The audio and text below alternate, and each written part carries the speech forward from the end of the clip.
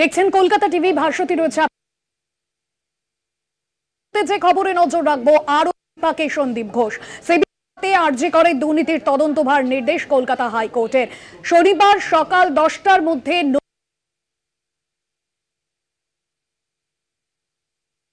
প্রাক্তন অধ্যক্ষ সন্দীপ ঘোষ তিন সপ্তাহ পরে তদন্তের অগ্রগতির রিপোর্ট দেওয়া হবে। শনিবার সকাল দশটার মধ্যে নথি হস্তান্তর রিপোর্টের অগ্রগতি, যে কতটা এই তদন্ত এগোচ্ছে এবং তদন্তের যে গতি প্রকৃতি সেই রিপোর্ট দেবে সিবিআই। সিবিআইয়ের হাতে আর্জি করে দুর্নীতির তদন্ত ভার।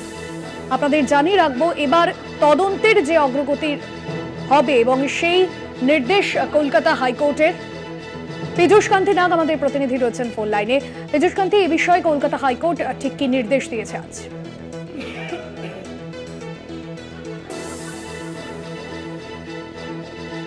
পীযুষ কান্তি শোনা যাচ্ছে? হ্যাঁ কলকাতা হাইকোর্টের ঠিক কি নির্দেশ এ বিষয়ে? দেখো কলকাতা হাইকোর্টে বিচারপতি রাজশ্রী ভরদ্বাজের নির্দেশ যে সন্দীপ ঘোষের দুর্নীতি সংক্রান্ত যে তদন্ত সিট হচ্ছিল, তার জায়গায় তদন্ত হস্তান্তরিত হবে সিবিআই এর কাছে। আরজি করের সমস্ত মামলার যেহেতু সিবিআই তদন্ত করছে তাই এই দুর্নীতি সংক্রান্ত মামলার তদন্ত সিবিআই করবে।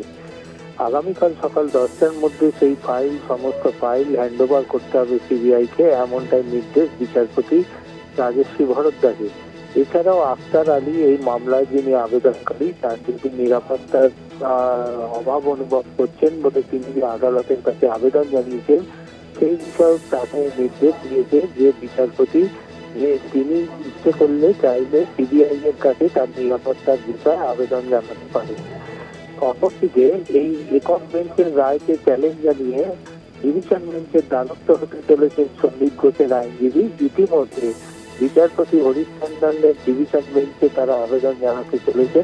আর কিছুক্ষণের মধ্যে বিচারপতিরা বসলে তারা এই এই ডিভিশন বেঞ্চে ওই রায়কে খারিজ করার আবেদন নিয়ে একটি মামলা দায়েরের অনুমতি চাইবেন। বিচারপতি অনুমতি দেওয়ার পরই তারা সেই মামলা দায়ের করবেন। অর্থাৎ একক বেঞ্চের রায়কে চ্যালেঞ্জ জানিয়ে ডিভিশন বেঞ্চের দ্বারস্থ হতে চলেছে সন্দীপ ঘোষ।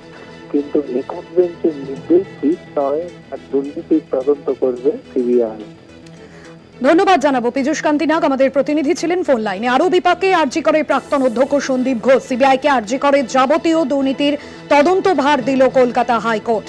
আরজি করের ঘটনায় যেহেতু তদন্ত করছে সিবিআই, আর এই তদন্ত ভারও তাদের হাতেই হস্তান্তর করা হলো আগামীকাল। সকাল দশটার মধ্যে তদন্ত নথি হস্তান্তরের নির্দেশ হাইকোর্টের বিচারপতি রাজর্ষী ভরদ্বাজে। তিন সপ্তাহ পরে সিবিআইকে এই তদন্তের অগ্রগতির রিপোর্ট দিতে হবে হাইকোর্টে। সতেরোই সেপ্টেম্বর সেই রিপোর্ট তলব করল কলকাতা হাইকোর্ট।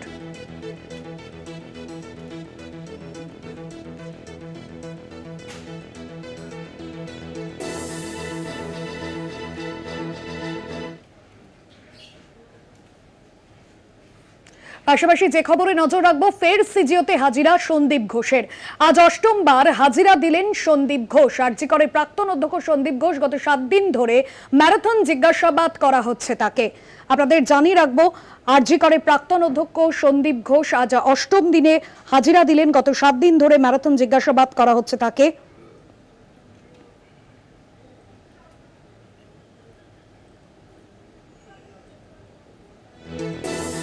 অন্যদিকে সন্দীপ সহ সাতজনের পলিগ্রাফ টেস্ট হবে আর্যকরের ঘটনা, এমনটা কিন্তু সিবিআইকে অনুমতি দিয়েছে আদালত। এবং বিভিন্ন ক্ষেত্রে আমরা দেখছি যে সন্দীপ ঘোষকে জিজ্ঞাসাবাদ চলছে, শুক্রবারও সিজিও দফতরে হাজিরা দিয়েছেন সন্দীপ ঘোষ। এই নিয়ে অষ্টমবার সিবিআই জিজ্ঞাসাবাদের মুখোমুখি হচ্ছেন তিনি। আরজিকর হাসপাতালে জরুরি বিভাগের সেমিনার হল থেকে চিকিৎসকের দেহ উদ্ধার এবং তারপরে একাধিক অভিযোগের মুখোমুখি হয়েছিলেন সন্দীপ ঘোষ। সাকিল মুস্তাক আমাদের প্রতিনিধি রয়েছেন ফোন লাইনে। সাকিল, দীর্ঘ কয়েক ঘণ্টা অতিক্রান্ত হয়েছে, এখনও পর্যন্ত জিজ্ঞাসাবাদ চলছে। কি কি বিষয় এখনও পর্যন্ত সিবিআই আধিকারিকরা জানতে চাইছেন তার থেকে? কি কি সূত্র এখনও পর্যন্ত উঠে এলো জিজ্ঞাসাবাদে? ইতিমধ্যে অষ্টম দিন আজকে। তাকে কিন্তু সকালেই তলব করা হয় এবং দশটা কুড়ি নাগাদ তিনি কিন্তু সিজিও কমপ্লেক্সে সিবিআই দপ্তরে আসেন। এখনও তাকে জিজ্ঞাসাবাদ করা হচ্ছে, ম্যারাথন জিজ্ঞাসাবাদ করা হচ্ছে। যেসব বিষয়গুলো খতিয়ে দেখা হচ্ছে, সেসবগুলো হলো যে সেই দিন যে আউটপোস্টের যে ওসি তারা ছিলেন, তাদের বক্তব্য, যে তারাও এসছেন ইতিমধ্যে সিবিআই দপ্তরে, তাদেরকেও জিজ্ঞাসাবাদ করাচ্ছে। সেইসব জিজ্ঞাসাবাদের পরিপ্রেক্ষিতেই কিন্তু সন্দীপ ঘোষকে জিজ্ঞাসাবাদ করা হবে। তারা কে কে ঢুকেছিল আর্যিকরের সেই দিনে কিন্তু সেই সব বিষয় কিন্তু খতিয়ে দেখা হচ্ছে। এর পাশাপাশি কিন্তু সঞ্জয় রায় যেসব কোনো বক্তব্য জিজ্ঞাসাবাদ করে বয়ান উঠে এসছে, সেসব কোনো রেকর্ড করে সেই সব পরিপ্রেক্ষিতেই কিন্তু সন্দীপ ঘোষকে এখনও পর্যন্ত জিজ্ঞাসাবাদ করা হচ্ছে। একদমই ধন্যবাদ জানাব তোমায়। ফের আজ সিজিওতে হাজিরা সন্দীপ ঘোষের জিজ্ঞাসাবাদ চলছে। অষ্টম দিনে হাজিরা দিলেন সিজিও দপ্তরে সন্দীপ ঘোষ।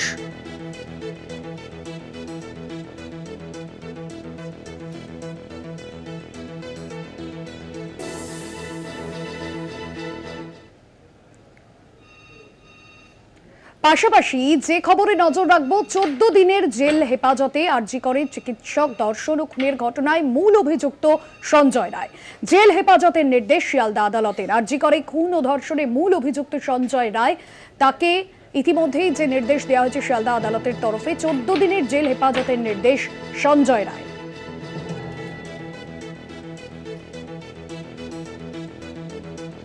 সত্যসুন্দর ভট্টাচার্য রয়েছেন ফোন লাইনে সত্যসুন্দর, কি জানা যাচ্ছে আদালতে? আজ ঠিক কি সওয়াল ছিল? দেখো, শিয়ালদহর এসিজিএম যে আদালত, সেই আদালতে আজকে ধৃত সঞ্জয় রায় চোদ্দ দিনের জেল হেফাজতের নির্দেশ দিয়েছেন এসিজিএম এবং যেটা জানা যাচ্ছে যে এর আগে, গত, এর আগেই সুপ্রিম কোর্টের তরফে জানানো হয়েছিল যে পলিগ্রাফ টেস্টের অনুমতি নিতে হবে সঞ্জয় রায়।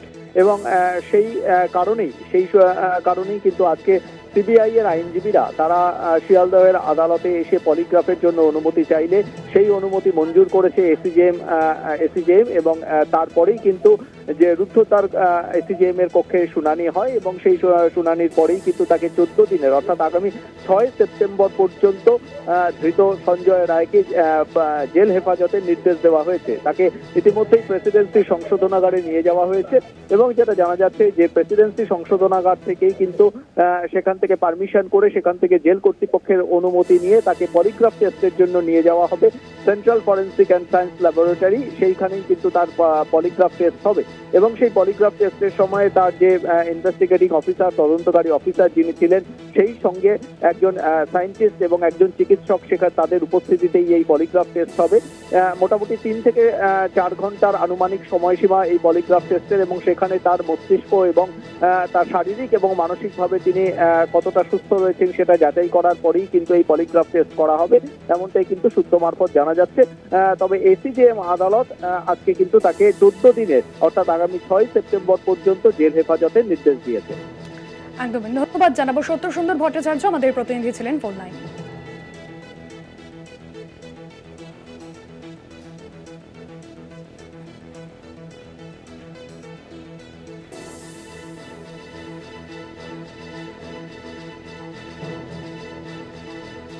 আরজি করে খুন ও ধর্ষণে মূল অভিযুক্ত সঞ্জয় রায়ের চোদ্দ দিনের জেল হেফাজতের নির্দেশ শিয়ালদা আদালতে।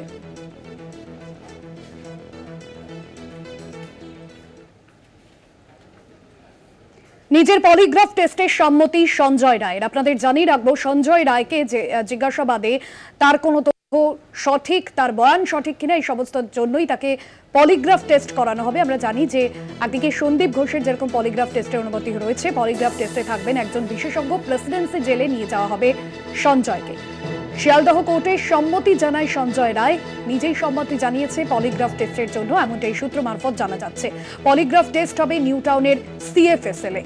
প্রেসিডেন্সি জেলে নিয়ে যাওয়া হবে সঞ্জয়কে। আরজি করে খুন ধর্ষণের মূল অভিযুক্ত সঞ্জয় রায়। পলিগ্রাফ টেস্ট করা হবে সঞ্জয় রায়ের এবং তিনি নিজেই পলিগ্রাফ টেস্টের অনুমতি শিয়ালদহ সিজিএম আদালতের পলিগ্রাফ টেস্টে ধরা পড়বে তার বয়ান কতটা সত্যি, কতটা মিথ্যে, সেদিনকার ঘটনার হার হিম করা ঘটনা। অপরাধের কথা স্বীকারের সময় একটুও গলা তিনি সঞ্জয়। বিশেষজ্ঞরা বলছেন, যৌন মানসিক বিকৃতিতে ভুগছেন সঞ্জয় রায়। সঞ্জয় সহ ছজনের পলিগ্রাফ টেস্ট নিহত চিকিৎসকের পলিগ্রাফ টেস্টের অনুমতি শিয়ালদহের সিজিএম আদালতে। পলিগ্রাফ টেস্টে ধরা পড়বে সঞ্জয়ের বয়ান কতটা সত্যি, কতটা মিথ্যে।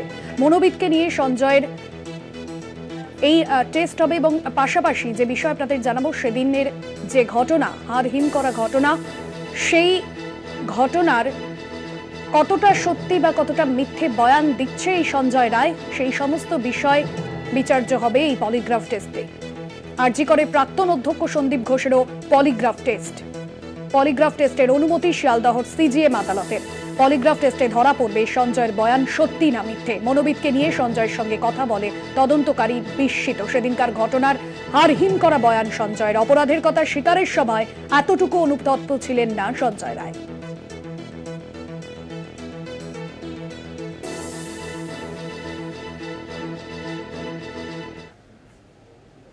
সাংবাদিক বৈঠকে স্বাস্থ্য সচিব এবং যে সমস্ত বিষয় সাংবাদিক বৈঠকে তিনি তুলে ধরেছেন, আন্দোলনকারী চিকিৎসকদের দাবি মানা হয়েছে। দাবি অনুযায়ী আরজিকরের অধ্যক্ষ অপসারিত সন্দীপ ঘোষ কোনো পদে নেই, এমনটাই স্বাস্থ্য সচিব তরফে বলা হয়েছে। সন্দীপ ঘোষের বিরুদ্ধে দুর্নীতির চলছে, এক বছর আগে অভিযোগের ভিত্তিতে তদন্ত হয়। বর্তমানে আর্থিক যে দুর্নীতি, সেই দুর্নীতির তদন্ত চলছে সিটের হাতে। সন্দীপ ঘোষকে দুর্নীতির তদন্ত সিটের হাতে সন্দীপ ঘোষকে নতুন কোনো দায়িত্ব কিন্তু দেওয়া হয়নি। আমরা দেখেছিলাম পড়ুয়াদের বিক্ষোভের পরবর্তী তাকে ন্যাশনাল মেডিকেল কলেজের অধ্যক্ষ হিসেবে নিয়োগ করার পর সেখানেও পড়ুয়াদের বিক্ষোভ দেখা যায়। রিয়া মাঝে আমাদের প্রতিনিধি রয়েছেন ফোন লাইনে। রিয়া স্বাস্থ্য সচিব আজ সাংবাদিক বৈঠকে কি কি বিষয় তুলে ধরেছেন? তো তোমাকে জানিয়ে রাখব যে নারায়ণ স্বরূপ নিগম, তিনি যে আজকে প্রেস কনফারেন্স করেছেন, সেখান থেকে তিনি একাধিক বক্তব্য রেখেছেন। তিনি প্রথমেই যেটা বলেছেন যে গতকালকে সুপ্রিম কোর্ট যেমনটা জানিয়েছিলেন বা যেমনটা আজকে করেছিল বা যেমনটা নির্দেশ দেওয়া হয়েছিল বলতে পারো যে জুনিয়র ডক্টর যারা এই আন্দোলনে এখনও সরব রয়েছেন, তাদেরকে ইমিডিয়েট যাতে তারা কাজে ফিরে যায়, সেই বিষয়টা নিয়ে সুপ্রিম কোর্ট তার তারা আলোকপাত করেছিলেন এবং তারপরেই আজকে যে নারায়ণ স্বরূপ নিগম তিনি যে প্রেস কনফারেন্স করেছেন সেখান থেকেও তিনি এই আর্জি জানিয়েছেন এবং তিনি মেনশন করেছেন যে কল্যাণীতে যে এইমস রয়েছে তারাও কাজে ফিরেছেন এবং একই সঙ্গে দিল্লির এইমস তারাও কিন্তু কাজে ফিরেছে। এবং সেক্ষেত্রে এখানে যেসব মেডিকেল কলেজগুলো রয়েছে সেখানে অনেক গুরুত্বপূর্ণ দপ্তর রয়েছে। সেই কারণের জন্য তারা যাতে বা ডিপার্টমেন্ট রয়েছে গুরুত্বপূর্ণ তারা যাতে ইমিডিয়েট কাজে ফেরে সেই বিষয়টাতে আহ, তিনি আর্জি জানিয়েছেন। এবং অত্যন্ত গুরুত্বপূর্ণ যে বিষয়টা তিনি বলেছেন যে এই সন্দীপ ঘোষকে আর্জিকর থেকে সরানো হয়েছে এবং তারপরে তাকে নিয়ে যাওয়া হয়েছিল পোস্ট করা হয়েছিল ন্যাশনাল মেডিকেল কলেজে সেখান থেকেও তাকে সরানো হয়েছে বা সেই অর্ডার ক্যান্সেল করা হয়েছে ইতিমধ্যে। তবে যে বিষয়টা তিনি বলেছেন বা যে বিষয়টা বারবার সোশ্যাল মিডিয়া সহ একাধিক জায়গায় ঘুরে বেড়াচ্ছে যে সন্দীপ ঘোষকে ওএসডি করা হয়েছে এবং সেটা স্বাস্থ্য ভবনে। এরকম কোনো পোস্ট নেই বা এরকম কোনো পদে বসানো হয়নি সন্দীপ ঘোষকে বলে এমনটাই তিনি মেনশন করেছেন এবং তিনি বলেছেন যে সিট গঠন করেছে রাজ্য। তারা এই তদন্ত করছে করাপশনের এবং তারপরেই যেটা দেখা গেল যে হাইকোর্টের নির্দেশে এই তদন্তভার চলে গেল সিবিআই এর কাছে। ধন্যবাদ রিয়া। রিয়া মাঝে আমাদের প্রতিনিধি ছিলেন এক বছর আগে অভিযোগের ভিত্তিতে তদন্ত হয় নতুন কোনো দায়িত্ব দেওয়া হয়নি সন্দীপ এমনটাই সাংবাদিক বৈঠকে আজ স্বাস্থ্য সচিব তিনি বক্তব্য রেখেছেন।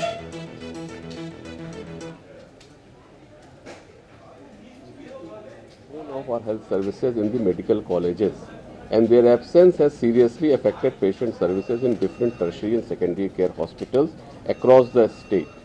All of us must appreciate that cancer specialized care like cancer care, cardiology, neurological care are only available in the medical colleges and in the absence of the regular resident doctors these services are badly getting affected and the poor patients are also getting affected. Currently, senior doctors are providing round the clock services in the government hospitals. It must be appreciated that the poor patients who are dependent on government hospitals are especially affected. Once again, appeal to our resident doctors that they must return to their services. The government upholds the dignity of our medical professionals in the highest order. We request that the normalcy in the patient services must be restored immediately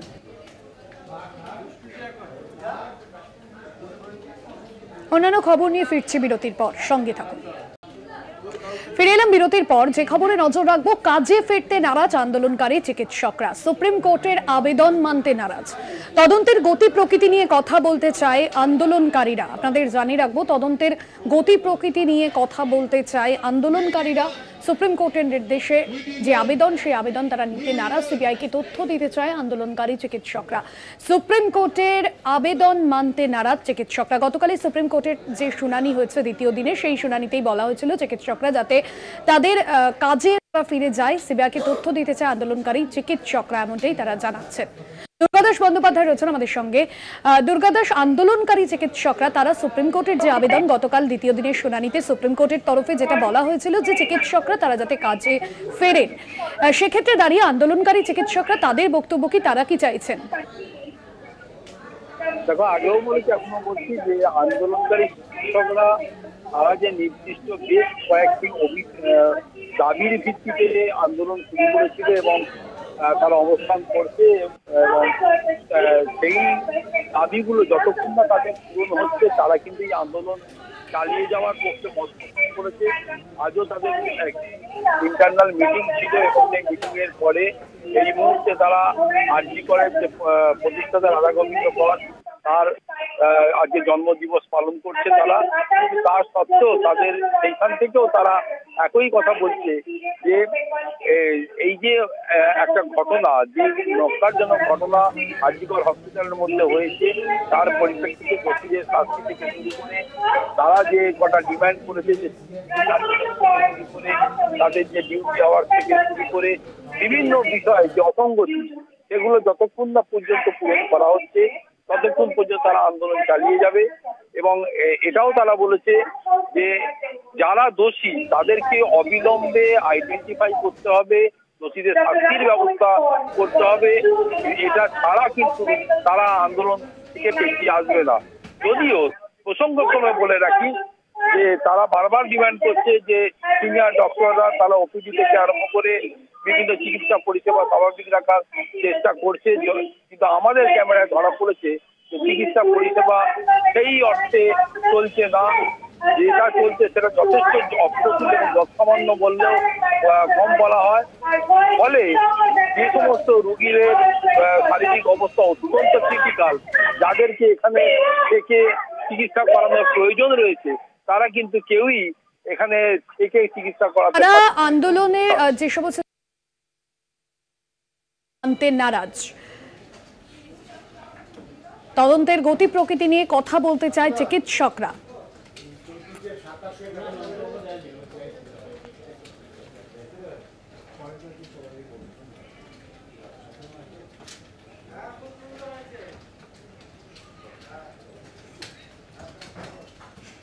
national মেডিকেলে চিকিৎসা পরিষেবা স্বাভাবিক। অন্যান্য দিনের মতো emergency ও outdoor সবই খোলা।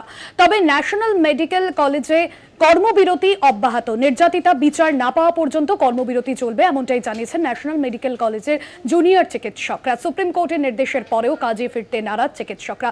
দেখুন কলকাতা টিভির প্রতিনিধির প্রতিবেদন। আরজিকরের চিকিৎসক তরুণীকে ধর্ষণ এবং খুনের ঘটনায় সেই নির্যাতিতা ছাত্রীর জন্য বিচার চেয়ে আরজিকর হাসপাতালে যখন জুনিয়র ডাক্তারদের অবস্থান চলছে, তাদেরকে সমর্থন জানিয়ে ন্যাশনাল মেডিকেল কলেজেও একইভাবে অবস্থান শুরু হয়েছে এবং ইতিমধ্যেই সুপ্রিম কোর্টে দু দফায় এই মামলা শুনানি হয়েছে এবং দু দফাতেই সুপ্রিম কোর্টের প্রধান বিচারপতি তিনি যারা অবস্থান করছেন তাদের কাছে আবেদন এবং অনুরোধ দুটোই জানিয়েছেন যাতে তারা অবস্থান তুলে নিয়ে অন্ততপক্ষে কাজে ফেরেন। কিন্তু যারা অবস্থান করছেন তাদের স্পষ্ট বক্তব্য, যতক্ষণ না পর্যন্ত ওই নির্যাতিতা ছাত্রীর জন্য বিচার মিলছে বা তার বিচার তিনি পাচ্ছেন, একই সঙ্গে দোষীদের দৃষ্টান্তমূলক শাস্তি হচ্ছে। ততক্ষণ পর্যন্ত তারা এভাবেই অবস্থান আন্দোলন চালিয়ে যাবে। আমাদের যে সিনিয়ররা ডায়েট করেছে সেই হিসেবে আমাদের বলা হয়েছে যে প্রোটেস্ট আমরা চালিয়ে যাচ্ছি। এখনও স্পেসিফিক্যালি কোনো নাহি, কোনো ল পাস করা হয়েছে। আগে এমার্জেন্সিতে দুটো পুলিশম্যান বসে থাকতো এখনও সেম দুটোই পুলিশম্যান বসে আছেন এখন যদি মব অ্যাটাক হয়, আবার সেম জিনিস হবে, কেউ আটকানোর জন্য নেই। তো মানে কোনো ইমপ্রুভমেন্ট দেখতে পাচ্ছি না সেরকম স্পেসিফিকভাবে চোদ্দ দিন হতে এলো, না আরও কোনো দোষী ধরা পড়েছে। না সিকিউরিটির দিক থেকে কোনো ইমপ্রুভমেন্ট হয়েছে। আর এমার্জেন্সি সার্ভিসেস যেরকম চালু ছিল সেরকম এখনও চালু আছে। বাকি সার্ভিসেসগুলোও স্যাররা দেখছেন নার্সেসরা আছেন, বাকি সবই নিয়ে নিজের কাজ ঠিকঠাকই করছেন।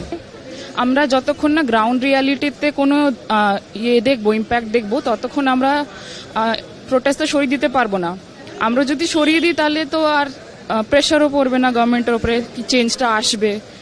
এখনও দেখছি পেশেন্ট পার্টিদের সাথে দশজন করে মতন ঢুকে যাচ্ছে হসপিটালে ওয়ার্ডসে তো আমরা, তো এই অবস্থায় আমরা কাজে ফিরে যেতে পারব না। আমাদের এখনও খুব ভয় আছে। বিভাগ খোলা রয়েছে, সেখানে যারা সিনিয়র ডাক্তার রয়েছেন, তারা চিকিৎসা প্রদান করছেন, ফলত সমস্যা নেই। তবে যতক্ষণ না পর্যন্ত যে বলা যেতে পারে ন্যাশনাল টাস্ক ফোর্স তৈরি হয়েছে, তার অগ্রগতি, তার কাজকর্ম এবং একই সঙ্গে ওই নির্যাতিতা ছাত্রীর জন্য বিচার এবং একই সঙ্গে দোষীদের দৃষ্টান্তমূলক শাস্তি হচ্ছে, ততক্ষণ পর্যন্ত তারা এভাবেই অবস্থান আন্দোলন চালিয়ে যাবেন। ক্যামেরায় সুবীর সরকারের সঙ্গে শুভঙ্কর মণ্ডল, কলকাতা টিভি।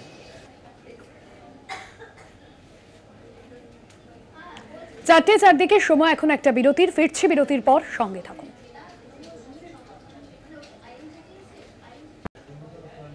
নন্দীগ্রামে থানা আপনাদের জানিয়ে রাখব, নন্দীগ্রামে থানা ঘেরাওকে কেন্দ্র করে উত্তেজনা ইতিমধ্যেই ঘটনাস্থলে পুলিশ পৌঁছেছে।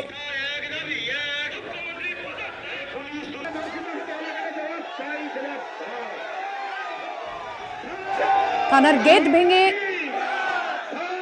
যে ছবি বিজেপি কর্মীদের সঙ্গে, ধস্তাধস্তি নন্দীগ্রামে থানা ঘেরাওকে কেন্দ্র করে উত্তেজনা। গেট ভেঙে ভিতরে ঢুকে যায় বিজেপি কর্মীরা।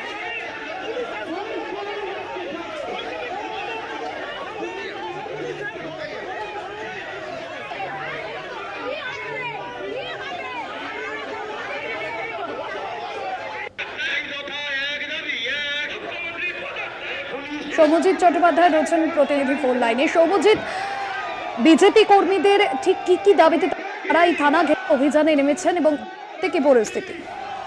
দেখো ভাস্বদেবী শুভেন্দু অধিকারীর যে গ্রেপ্তারের দাবি এবং আরজি করার যে ন্যাক্কারজনক ঘটনা, তার প্রতিবাদে কিন্তু পূর্ব রাজ্য তথা জেলার বিভিন্ন জায়গায় বিজেপির থানা ঘেরাও কর্মসূচি ছিল আজ এবং সেই মোতাবেক কিন্তু নন্দীগ্রামে আজ দুপুর বারোটার দিকে বিজেপি কর্মী সমর্থকরা থানা ঘেরাও করতে যায়। এবং সেই সময় যখন তারা ওখানে বিক্ষোভ প্রদর্শন করতে থাকে, তখনই কিন্তু পুলিশ বিক্ষোভ প্রদর্শনে বাধা প্রদান করে। এবং তারপরেই কিন্তু উত্তেজিত বিজেপি কর্মী সমর্থকরা থানার গেট কার্যত ভেঙে ভেতরে ঢোকে এবং সেই সময় সেই সময় তাদেরকে পুলিশ কর্মীরা আটকানোর চেষ্টা করলে পুলিশ কর- কর্মীদের সাথে রীতিমতো ধস্তাধস্তি বেঁধে যায় বিজেপি কর্মী সমর্থকদের। এবং বিজেপি যে কর্মী সমর্থকরা, তারা কিন্তু থানার ভেতরে গেট ভেঙে ভেতরে ঢোকে বসে পড়ে অবস্থান বিক্ষোভে সামিল হন। এরপরে কিন্তু বিশাল পুলিশ বাহিনী নন্দীগ্রাম থানা ঘিরে ফেলে এবং সে অবরোধকারীদের হটিয়ে পুরো পরিস্থিতি আয়ত্তে আনে। ধন্যবাদ সৌমজিৎ নন্দীগ্রামে থানা ঘেরাওকে কেন্দ্র করে উত্তেজনা ছড়িয়েছে। থানার গেট ভেঙে ঢুকে যান বিজেপি কর্মীরা। থানার সামনেই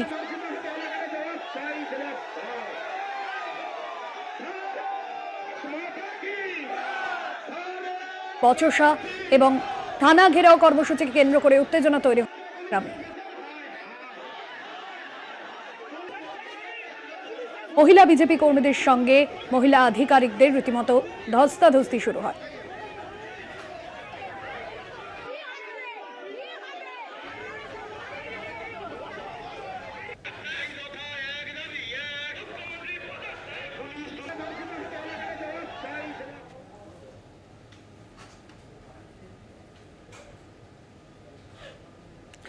জলঙ্গিতে বিজেপির ডাকে থানা ঘেরাও কর্মসূচি। আরজিকর কাণ্ডের প্রতিবাদে থানা ঘেরাও বিজেপির।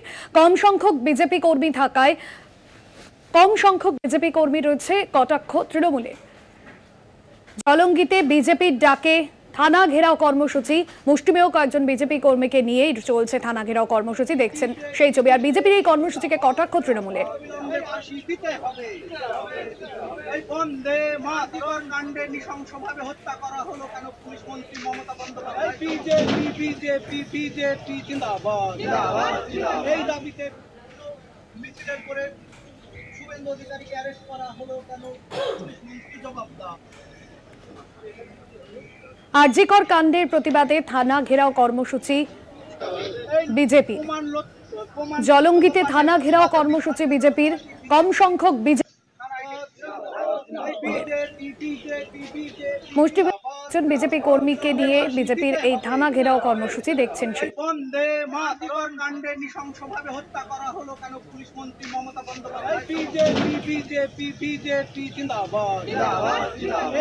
দেখলাম আমাদের প্রতিনিধি রয়েছেন ফোন লাইনে। রাকিবুল, বিজেপির মুষ্টিমেয় কয়েক সমর্থককে নিয়ে তার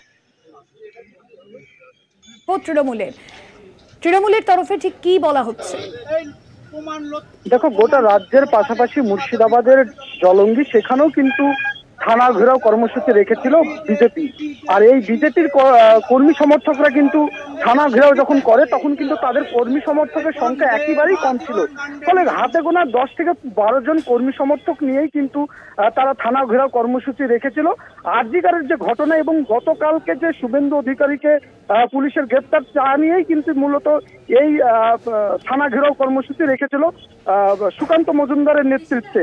তারপরেই কিন্তু এই- থানা ঘেরাও কর্মসূচিতে এত পরিমাণে কর- কর্মী সমর্থকের সংখ্যা কম এই দেখে কিন্তু জলঙ্গি ব্লক তৃণমূল কংগ্রেস নেতৃত্ব এবং তৃণমূল কংগ্রেসের যে সভাপতি মাসুম আলী আহমেদ তেনার কিন্তু বক্তব্য তিনি জানিয়েছেন যে সাধারণত মমতা বন্দ্যোপাধ্যায় আর্থিকর নিয়ে যে আহ, প্রতিবাদ বা আন্দোলন করছে এবং দোষীদের শাস্তির যে দাবি জানিয়েছেন সেটা মমতা বন্দ্যোপাধ্যায় সঠিকভাবে জানিয়েছেন। ফলে এই যে বিরোধী বাম কংগ্রেস থেকে শুরু করে বিজেপি যে চক্রান্ত করছে, মূলত তাদের পাশে মানুষ না থাকার কারণেই তাদের কর্মী সমর্থক কমেছে এবং যার জন্য এই কর্মসূচিতে কিন্তু বিজেপি কর্মী সমর্থক আসেননি। এমনটাই কিন্তু দাবি করতেন তৃণমূল কংগ্রেসের ব্লক সভাপতি। ধন্যবাদ রাকিবুল আপনাদের সামনে চার জায়গার ছবি তুলে ধরছি। নন্দীগ্রাম, মুর্শিদাবাদ, বাঁকুড়া, আসানসোল ঘটনা দেওয়া হয়েছে এবং যে ছবি আপনাদের সামনে তুলে ধরছি, পূর্ব মেদিনীপুরের নন্দীগ্রাম, অন্যদিকে মুর্শিদাবাদ, বাঁকুড়া, আসানসোল, চার জায়গায় বিজেপির থানা ঘেরাও কর্মসূচি।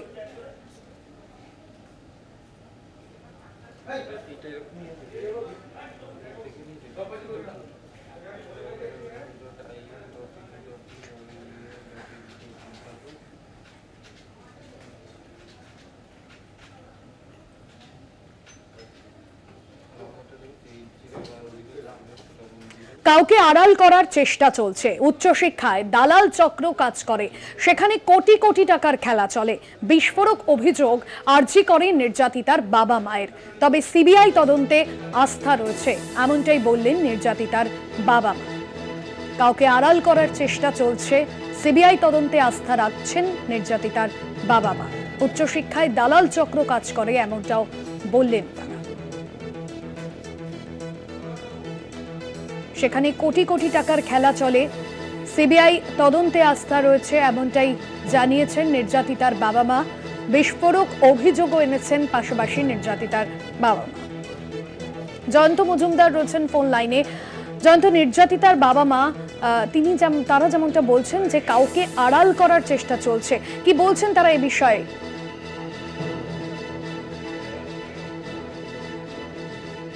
হাসপাতাল কর্তৃপক্ষ সেই সময় কিন্তু তাদের অসহযোগিতা করেছিলেন কোনো সহযোগিতার হাত তাদের কাছে বাড়িয়ে দেয়নি হাসপাতাল কর্তৃপক্ষ। এবং শুরু থেকে বড় কোনো রাঘব বোয়ালকে আড়াল করার চেষ্টা হচ্ছে এমনটাই তারা মনে করছেন এবং পাশাপাশি সিবিআই কিন্তু তদন্ত শুরু করেছেন এবং এই যে দেওয়াল ভাঙা নিয়ে একটা আহ, চারিদিকে পড়ে গিয়েছিল সেই জায়গা থেকেও কিন্তু নির্যাতিতার বাবা মা মনে করছেন তথ্য প্রমাণ লোপাটের একটা চেষ্টা করা হচ্ছিল। এবং শুধু তাই নয় তারা এমনটাও দাবি করেছেন তারা ছাত্রদের আন্দোলনের পাশে আছেন এবং প্রয়োজনে তারা ছাত্রদের সঙ্গে আন্দোলনে নামতে রাজি। এমনটাও কিন্তু নির্যাতিতার বাবা মা কিন্তু স্পষ্টতই দাবি করেছেন এবং মহামান্য আদালত দেশের শীর্ষ আদালত সেই আদালতের প্রতি তারা আস্থা রাখছেন তারা আস্থা রাখছেন সিবিআই এর প্রতি। এবং তারা মনে করছেন যে হাসপাতাল এখন যেটা মনে হচ্ছে তাদের যে উচ্চ শিক্ষার ক্ষেত্রে একটা দালাল চক্র কাজ করতো এবং সেখানে কোটি কোটি টাকার লেনদেন চলতো। এবং তার সাথে প্রশাসনও জড়িত রয়েছে। এমনটাই কিন্তু মনে করছেন আহ, বাবা মা ধন্যবাদ জয়ন্ত। নির্যাতিতার বাবা ও মা কি জানিয়েছেন শোনাবো। আমরা এটা প্রথম থেকেই বুঝতে পারছিলাম কাউকে আড়াল করা হচ্ছে। কিছু একটা মানে খুব গুরুত্বপূর্ণ বিষয় আড়াল করা হচ্ছে প্রথম থেকেই এমনকি অনেক খুন খুন ধর্ষণ এগুলোর সঙ্গে জড়ানো হচ্ছে কিন্তু আমার মেয়ের ব্যাপারটা আমি মনে করি সম্পূর্ণ আলাদা। কারণ সে একটা অন ডিউটি ডক্টর ছিল ওখানে। তার এরকম পরিণতি অন্য কোনো খুন ধর্ষণ মামলার সঙ্গে জড়িয়ে ফেললে হবে না এটা। আমাদের আমরা একমাত্র মেয়েকে হারিয়েছি এবং যেখানে সে স্বপ্ন পূরণ করতে গেছিল সেখানেই তার সমস্ত স্বপ্ন শেষ হয়ে গেছে। এবং তাকে নিয়ে আরও কিছু অপপ্রচার একদম একদম। প্রশাসনের উপর আমরা বলেছি যে এটা যাতে না হয়। আমার মেয়েকে নিয়ে যেন ব্যবসা না সারা দেশ সারা পৃথিবী কতটা জানতে পেরে কালকে আপনি বলছিলেন যে ঘটনাস্থলটা নষ্ট করে দেওয়া হয়েছে। হ্যাঁ কিছুটা তো নষ্ট করা সিবিআই এতদিন সময় লাগতো না মনে হয়। সিবিআই এখন অন্যভাবে চেষ্টা করছে প্রমাণ জোগাড় করার। মানে এই যে পলিগ্রাফ টেস্ট টেস্ট করবে সেটা সেটা তাদের ব্যাপার কি করছে? আপনাদের সঙ্গে কি জানতে চাওয়া হয়েছে? মানে হ্যাঁ অবশ্যই আমাদের তো ছ ঘণ্টা ধরে আমাদের বিভিন্ন কথাবার্তা বলা হয়েছে কি কি বিষয় আমরা জানি। সেগুলো আমরা সিবিআইকে যেটা বলার বলেছি এবং সিবিআই এর উপরে আমরা এটা বলতে চাইছি আমরা তো একটা ভালো এজেন্সি চেয়েছিলাম সিবিআই একটা ভালো এজেন্সির মতো একটা দৃষ্টান্ত স্থাপন করবে এই ব্যাপারটা। অনেকে দেখা যাচ্ছে ধৈর্য হারাচ্ছে। এটা আমরাই ধৈর্য হারাচ্ছি প্রতিদিন চোদ্দ দিন হয়ে গেল কোনো রেজাল্ট পাইনি স্বাভাবিক ব্যাপার। মানে বলতে চাইছে? বলতে চাইছি সবাই একটু তৎপর হয়ে কাজটা করুক এবং সিবিআইয়ের উপর যে মানুষের যে আস্থা আছে সেই আস্থা রেখেই কাজটা। আমরাও আস্থা রেখেছি যখন সেই আস্থা রেখে এত বড় ঘটনা তদন্ত করে কিছু একটা কুল কিনারা করুক। তারা তো কোনো কুল কিনারা এখনও করতে পারেনি।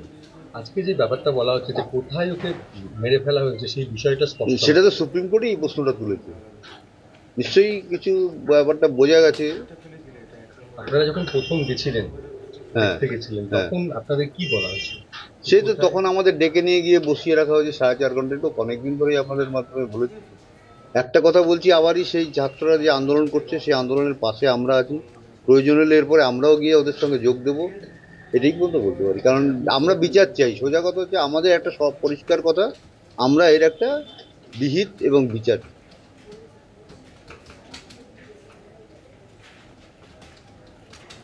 পাশাপাশি যে খবরে নজর রাখব, চিকিৎসার গাফিলতিতে যুবকের মৃত্যুর অভিযোগ। এমার্জেন্সি ভাঙচুর, আহত দশজন চিকিৎসক, নার্স বসিরহাট সুপার স্পেশালিটি হাসপাতালের ঘটনা।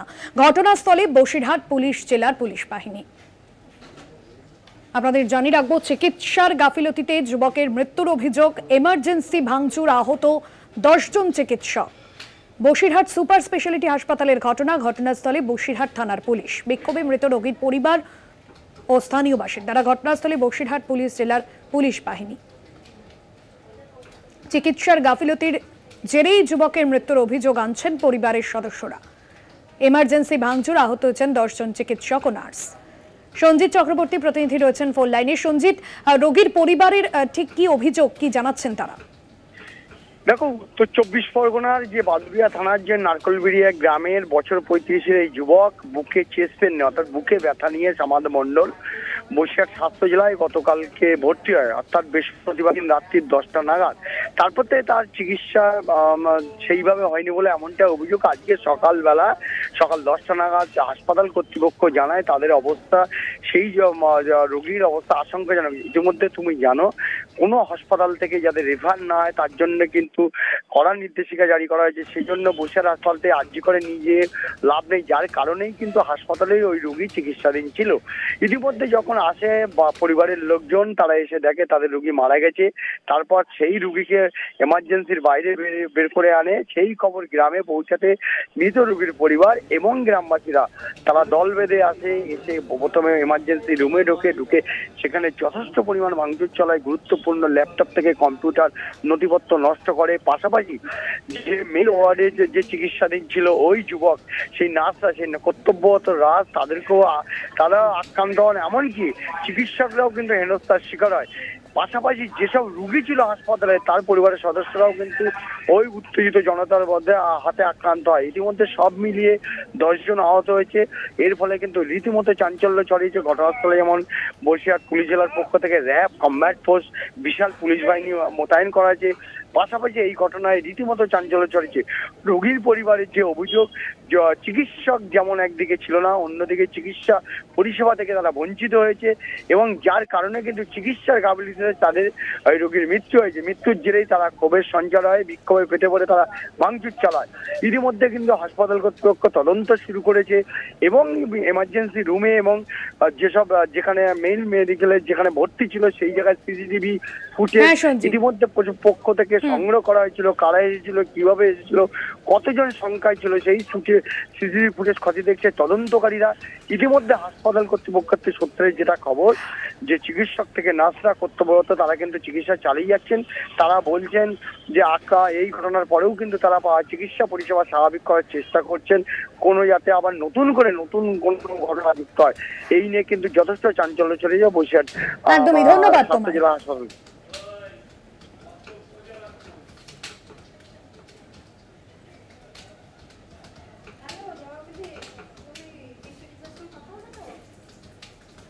সময়, এখন একটা বিরতির, ফিরছি বিরতির পর সঙ্গে থাকুন। নাগরিক সুরক্ষা সংহিতায় বড় বিধান সুপ্রিম কোর্টের। চারশো উনআশি ধারার সুবিধে পাবেন সব বন্দিরাই। সাজার অর্ধেক মেয়াদেই বিচারাধীন বন্দির জামিন। পয়লা জুলাইয়ের আগে বন্দীদের ক্ষেত্রেও কার্যকর।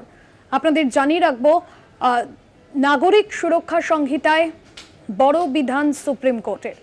চারশো উনআশি ধারার সুবিধে পাবেন সব বন্দিরাই।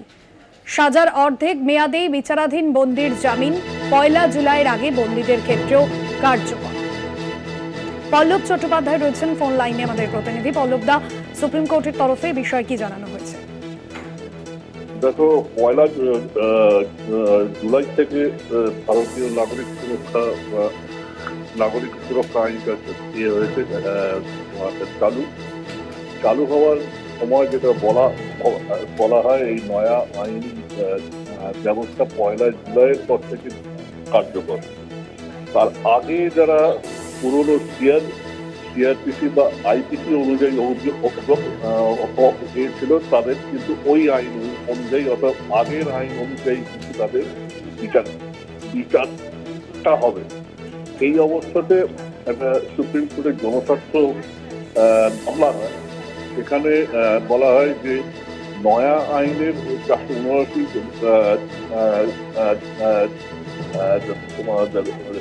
ধারা অনুযায়ী বিচারাধীনদের কিন্তু নির্দিষ্ট মানে সর্বোচ্চ সাজা যা, তার অর্ধেক সময় যদি তারা বন্দি অবস্থায় থাকে, তাদের ছেড়ে দেওয়া যায়। ব্যবস্থা যদি পুরনো আইনে অভিযুক্তদের ক্ষেত্রেও কার্যকর করা হয়। সেক্ষেত্রে কিন্তু জেল বন্দীদের সংখ্যাটা কিন্তু কমানো সম্ভব।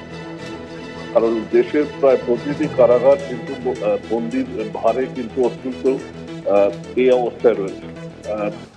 তো সেই সূত্রে সুপ্রিম কোর্ট, কেন্দ্রীয় সরকারের বক্তব্যটা জানতে চায়।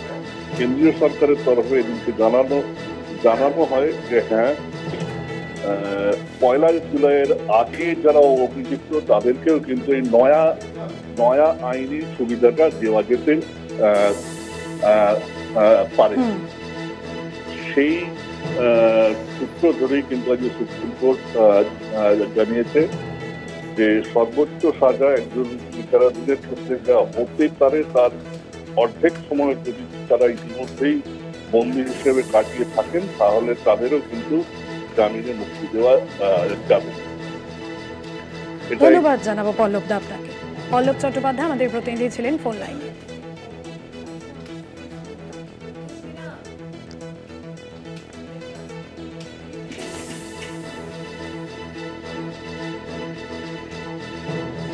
নাগরিক সুরক্ষা সংহিতায় বড় বিধান সুপ্রিম কোর্টের চারশো উনআশি ধারার সুবিধে পাবেন সব বন্দিরাই। সাজার অর্ধেক মেয়াদে বিচারাধীন বন্দির জামিন পয়লা জুলাইয়ের আগে বন্দীদের ক্ষেত্রেও কার্যকর। নাগরিক সুরক্ষা সংহিতায় বড় বিধান দেশের শীর্ষ আদালতের চারশো উনআশি ধারার সুবিধে পাবেন সব বন্দিরাই।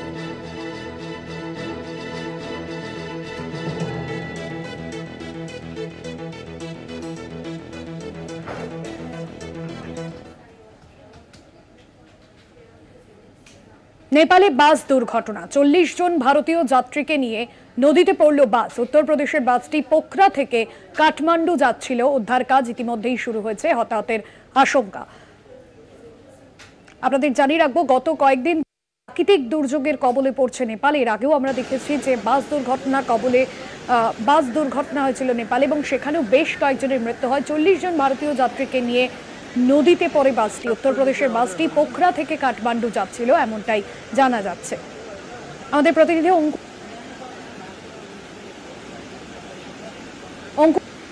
এই বাস দুর্ঘটনা এখনও পর্যন্ত যে হতাহতের আশঙ্কা রয়েছে, কি জানা যাচ্ছে? কি পরিস্থিতি? উদ্ধার কাজ চলছে, নেপালের সেনাবাহিনী উদ্ধার কাজ চালাচ্ছে। দেখো ভাস্বতী যেটা এখনও পর্যন্ত জানা যাচ্ছে যে একজন এসএসপি পর্যায়ের একজন আধিকারিকের মাধ্যমে এই উদ্ধার কার্য চালানো হচ্ছে নেপাল প্রশাসনের পক্ষ থেকে এবং এই উদ্ধার কার্যে এখনও পর্যন্ত সুনির্দিষ্টভাবে বলা যাচ্ছে না হতাহতের সংখ্যা, তবে হতাহতের আশঙ্কা রয়েছে। অসমর্থিত সূত্রে খবর, প্রায় চৌদ্দ জনেরও বেশি এই দুর্ঘটনার জেরে তাদের মৃত্যু হওয়ার আশঙ্কা প্রকাশ করেছে স্থানীয় সংবাদ মাধ্যম, তবে এখনও পর্যন্ত তা সমর্থিত সূত্র নয়। এবং ষোলো জন মতো এই ঘটনায় গুরুতরভাবে আহত হয়েছে, উদ্ধার কাজ চালানো হচ্ছে। এই এই বাসটিতে চল্লিশ জন ভারতীয় ছিলেন, উত্তরপ্রদেশের বাস ছিল। বাসটি নেপালের পোখরা থেকে কাঠমান্ডুর উদ্দেশ্যে যাচ্ছিল। শুক্রবার ভোরে যখন পোখরা থেকে কাঠমান্ডুর উদ্দেশ্যে বাসটি রওনা হয়, সেই সময় বাসটি নিয়ন্ত্রণ হারিয়ে তানাহুন জেলার মাটিয়াংড়ি নদীতে এই বাসটি পড়ে যায় এবং সেখানেই এই চল্লিশ জন যাত্রী সহ বাসটি পড়ে যাওয়ার পরে কিছুক্ষণ পরেই উদ্ধার কার্য শুরু হয়। পঁয়তাল্লিশ জন বিপর্যয় মোকাবিলা দপ্তরের কর্মী তারা এই ঘটনার উদ্ধার কাজের কাজ শুরু করেন। তাদের নেতৃত্বে ছিলেন একজন এসএসপি পর্যায়ের আধিকারিক। এখনও পর্যন্ত উদ্ধার কাজ চলছে বলেই জানতে পারা যাচ্ছে। ধন্যবাদ তোমায়। নেপালে বাস দুর্ঘটনা, উত্তরপ্রদেশে ছিল বাসটি, চল্লিশ জন ভারতীয় যাত্রীকে নিয়ে নদীতে পড়ল বাস।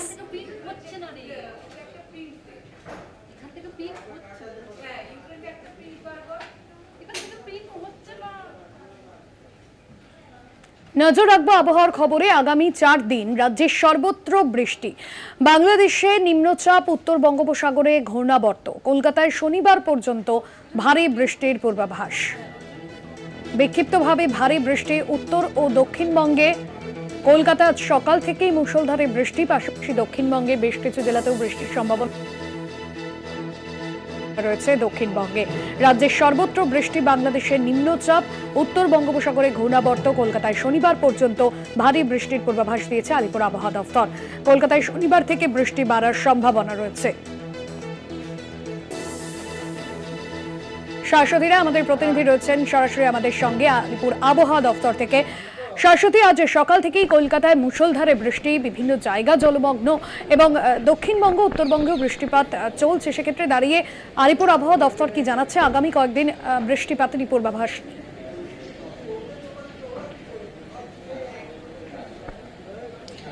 বাসতি উত্তর বঙ্গোপসাগরের উপর একটি ঘূর্ণাবর্তের অবস্থান রয়েছে। তার সঙ্গে সঙ্গে উত্তর বাংলাদেশ থেকে একটি নিম্নচাপ, যেটি ক্রমশ উত্তরবঙ্গ হয়ে ঝাড়খণ্ডের উপর প্রবেশ করছে। এই দুইয়ের জেরেই কিন্তু এই বৃষ্টি দুই বঙ্গ জুড়ে। উত্তরবঙ্গ এবং দক্ষিণবঙ্গের সর্বত্রই বিক্ষিপ্ত থেকে মাঝারি বৃষ্টির সম্ভাবনা জারি রয়েছে এবং বেশ কিছু জেলাতে ভারী থেকে অতি ভারী বৃষ্টির কমলা সতর্কতাও জারি। সেক্ষেত্রে দক্ষিণ চব্বিশ পরগনা পূর্ব মেদিনীপুর সহ বেশ কিছু জায়গায় কিন্তু দু এক জায়গায় ভারী থেকে অতি ভারী বৃষ্টির সম্ভাবনা জারি রয়েছে এবং উত্তর চব্বিশ পরগনা, হাওড়া, হুগলি, কলকাতা বা ঝাড়গ্রাম, পুরুলিয়া সহ একাধিক জায়গায় জারি রয়েছে ভারী বৃষ্টির পূর্বাভাস। তবে এই বৃষ্টির পরিমাণ কিন্তু সন্ধ্যের পর থেকে আরও বেশ কিছুটা বাড়বে শহর কলকাতার ক্ষেত্র আগামীকাল শহর কলকাতায় ভারী বৃষ্টির সম্ভাবনার কথা জানাচ্ছে আলিপুর আবহাওয়া দপ্তর এবং এই বৃষ্টিপাত আগামী তিন থেকে চার দিন পর্যন্ত জারি থাকবে। এই যে ঘূর্ণাবর্তের অবস্থান, যেটি ধীরে ধীরে আবারও উড়িষ্যা উপকূল হয়ে কিন্তু ক্রমশ ঝাড়খণ্ডের দিকে এগোবে। সেক্ষেত্রে উপকূলবর্তী জেলা এবং পশ্চিমের জেলাগুলিতে বৃষ্টিপাতের পরিমাণ ধীরে ধীরে বাড়বে। বাঁকুড়া, পুরুলিয়া দুই বর্ধমান এবং বীরভূমের ক্ষেত্রে কিন্তু বৃষ্টির পরিমাণ বাড়বে আগামীকাল থেকে। সেক্ষেত্রে সবকটি জেলাতেই বলা যায় দক্ষিণবঙ্গে জারি থাকবে ভারী থেকে অতি ভারী বৃষ্টি এবং আজকে সন্ধ্যের পর থেকে কিন্তু বৃষ্টির পরিমাণ আরও অনেকটা পরিমাণ বাড়বে বলে মনে করছে আলিপুর আবহাওয়া দপ্তর। সেক্ষেত্রে শুধুমাত্রই যে ঘূর্ণাবর্ত তা নয়, যে নিম্নচাপ অবস্থানরত তার জেরে উত্তরবঙ্গের জেলাগুলিতেও বৃষ্টি জারি রয়েছে। সেক্ষেত্রে মালদা এবং দুই দিনাজপুর সঙ্গে জলপাইগুড়িতে বিক্ষিপ্ত বৃষ্টি ভারী বৃষ্টির সম্ভাবনার কথা জানাচ্ছে হাওয়া অফিস এবং দার্জিলিংয়েও কিন্তু দু এক ফসলা ভারী বৃষ্টির সম্ভাবনা রয়েছে। সেক্ষেত্রে আগামীকাল থেকে উত্তরবঙ্গের জেলাগুলিতে উপরের পাঁচ জেলাতেও বৃষ্টির পরিমাণ বাড়বে এবং লাগাতার বৃষ্টি চলবে উত্তরবঙ্গের জেলাগুলিতে। এখনও পর্যন্ত যে পরিস্থিতি হয়ে দাঁড়িয়েছে তাতে কলকাতা শহরে আহ, যে বৃষ্টির ঘাটতি ছিল তা অনেকটাই মিটেছে। একেবারে আহ, স্বাভাবিকের মার্জিনে দাঁড়িয়ে রয়েছে এবং দক্ষিণবঙ্গ এবং উত্তরবঙ্গের ক্ষেত্রেও কিন্তু বৃষ্টির যে ঘাটতি ছিল তা অনেকটাই মিটেছে বলে মনে করছে হাওয়া অফিস। এবং এই বৃষ্টি বেশ কিছুদিন জারি থাকবে। ইতিমধ্যেই সক্রিয় রয়েছে মৌসুমী অক্ষরেখা।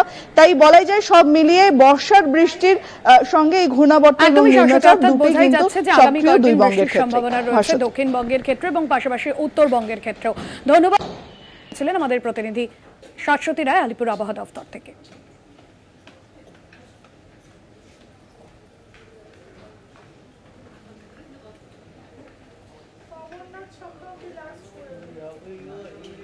চারটে চারদিক এখন এ পর্যন্তই। দেখতে থাকুন কলকাতা টিভি রাত দিন সাত দিন।